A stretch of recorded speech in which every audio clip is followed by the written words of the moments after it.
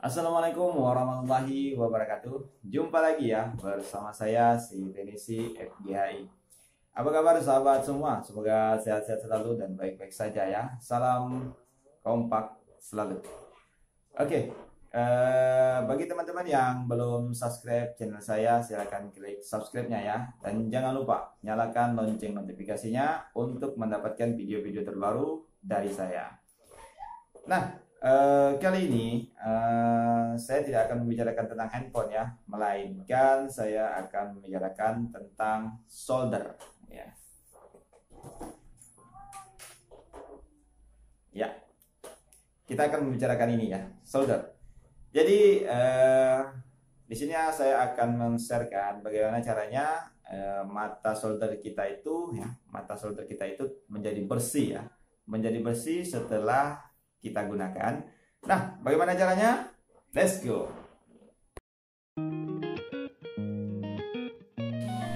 Oke ya teman-teman, uh, ini adalah solder yang tadi saya uh, katakan ya.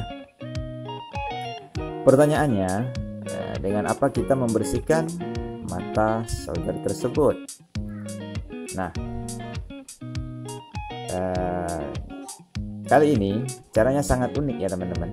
Nah, bagaimana caranya kita membersihkan mata solder ini dengan sebuah benda yang mudah sekali kita dapat ya. Bahkan mungkin di sekitar teman-teman ataupun eh, di dalam rumah teman-teman sendiri juga banyak sekali terdapat. Nah, solder ini eh, merek Winner ya teman-teman ya. Ini saya beli dengan harga murah sekali ya. Hanya 55.000 saja.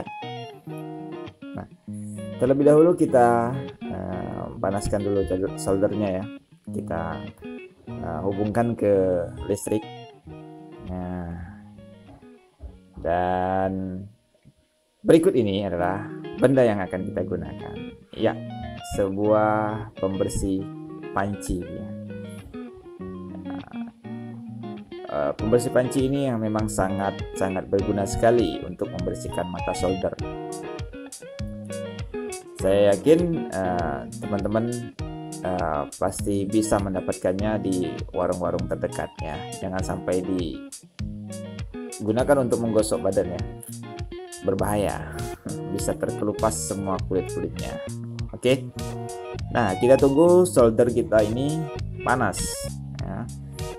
Kita masukkan ke dalam uh, tempat yang sudah saya disediakan ya. Ini saya bikin dari pipa PVC bekas ya untuk tempat pembersih timahnya ya. Nah sekarang kita akan tes ya. Kita akan tes. Iya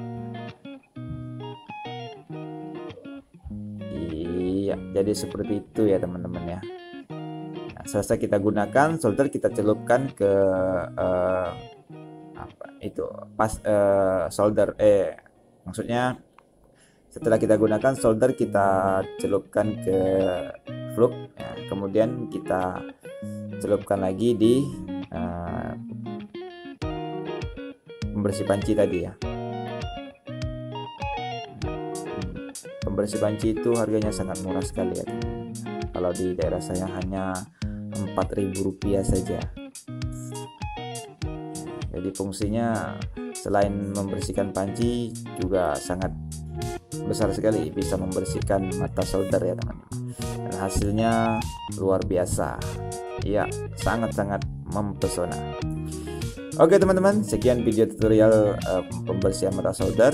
Jumpa lagi di video saya berikutnya. Assalamualaikum warahmatullahi wabarakatuh.